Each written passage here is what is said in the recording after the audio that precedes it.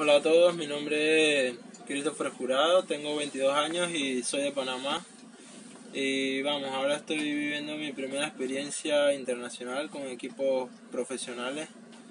Y la verdad que, bueno, bastante agradecido con el equipo Treviani Pony Emus 1986 que me ha dado esta oportunidad. Y vamos, algo que sí no puedo aceptar es que se me discrimine por mi color de piel, ¿no?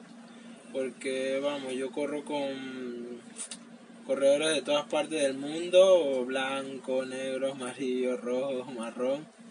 Y para mí es una riqueza o una fortuna, ¿no?